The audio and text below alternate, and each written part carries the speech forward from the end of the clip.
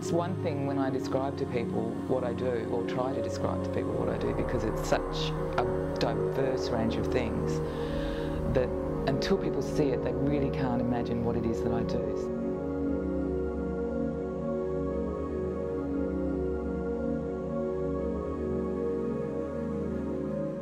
All my work gives me great pleasure, actually.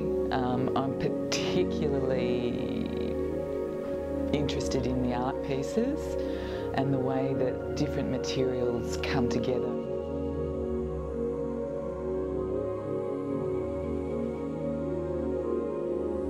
Um, the weaving I find incredibly um, soothing in a way. It's really time consuming, but it's really quite rhythmic.